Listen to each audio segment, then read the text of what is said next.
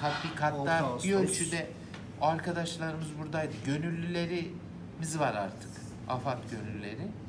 Ee, sayı şu anda 88. 80, 88, 200'e ulaşmayı planlıyoruz. 37 kişiye eğitim verdik. İnşallah e, gönüllülerimizin de katkısı olacak bundan sonra artık.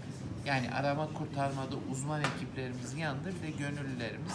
Onları eğiteceğiz. Onlar da bu tür felaketlerde destek personeli olarak görev yapacaklar. E, bu iş tüm ülkemizde e, çok önemli bir konu olarak ele alınması lazım.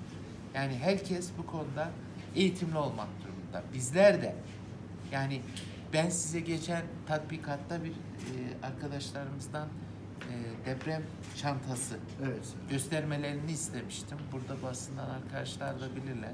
Ya onun önemi ortaya çıktı. O yanında bir işte bir radyosu, bir acil e, bazı gıda maddesi, e, İlaçları. su, ilaçları onun gibi.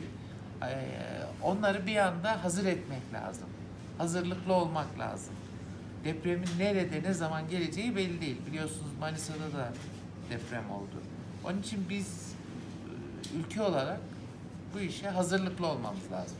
Deprem öldürmüyor arkadaşlar. Hazırlıksızsanız maalesef bu vefatlar oluyor. Çok üzücü ama hazırlıklı olursak, binalarımız sağlam olursa, e, acil müdahalede hiçbir eksiğimiz kalmazsa bu vefatlar en aza inecek. Belki olacaktır yine. Sıfırlamak mümkün değil ama en aza indirmiş olacağız.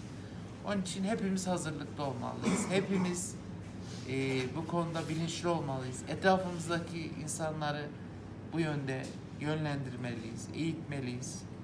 E, ve e, ülkemiz dediğim gibi inşallah bundan sonra bu tür felaketlerle karşılaşmaz.